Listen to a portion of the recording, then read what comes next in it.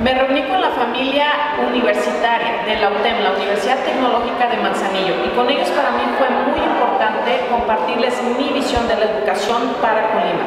Como gobernadora quiero impulsar tremendamente la educación. Este es el elemento de transformación social más poderoso que tenemos. Yo misma soy maestra porque creo profundamente en esto.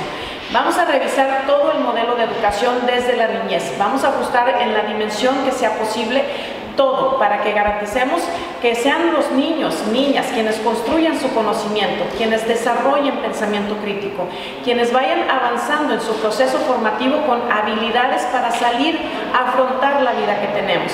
Creo también en el modelo de educación dual. Este es un modelo que ya cierta medida en la Universidad Tecnológica de Manzanillo y es un modelo que quiero que lo podamos extender más allá, porque con educación dual los jóvenes tendrán formación en el aula, pero también en la industria, en la empresa, en el campo. Así avanzamos en mucha mayor medida para tener jóvenes profesionistas y técnicos muy bien formados, pero también para que sea nuestras empresas, nuestra industria, nuestro campo, quien aproveche todo el potencial que tenemos a partir de la juventud en Colima.